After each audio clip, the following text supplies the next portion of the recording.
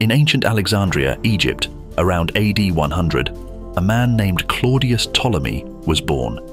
This bustling city, home to the renowned Library of Alexandria, became the backdrop for Ptolemy's intellectual pursuits. Immersed in the wealth of knowledge stored in the library's vast collection of scrolls, Ptolemy's early years were spent studying and debating with fellow scholars, setting the stage for his groundbreaking contributions to science. Ptolemy's most famous work, the Almagest, was a comprehensive treatise on astronomy. It detailed a geocentric model of the universe, where Earth was at the center and all celestial bodies revolved around it. Despite being later disproven, this model was the most advanced of its time and dominated astronomical thought for over a millennium. The Almagest showcased Ptolemy's ability to compile and expand upon the work of his predecessors, creating a lasting impact on the field.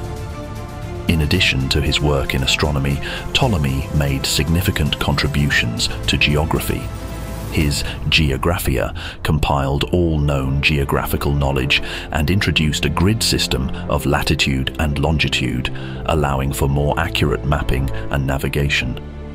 This innovation laid the groundwork for modern cartography and was instrumental for explorers and navigators for centuries to come. Ptolemy's curiosity extended to other disciplines as well.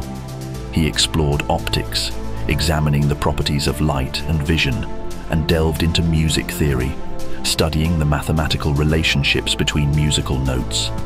Even his work in astrology, reflecting the beliefs of his time, influenced future generations and demonstrated his wide-ranging interests and intellect. The impact of Ptolemy's work transcended his own lifetime. His writings were translated into Arabic and Latin, spreading his ideas across the medieval Islamic world and Renaissance Europe. Explorers like Christopher Columbus relied on Ptolemy's maps and geographical theories as they ventured into new territories, highlighting the enduring relevance of his contributions. Though modern science has surpassed many of Ptolemy's theories, his legacy as a scholar and visionary remains. Ptolemy embodies the spirit of curiosity and the pursuit of knowledge, inspiring future generations to explore and understand the world and the cosmos. His story is a testament to the enduring power of human inquiry and the quest for understanding that continues to drive scientific discovery. Please like, share, comment and subscribe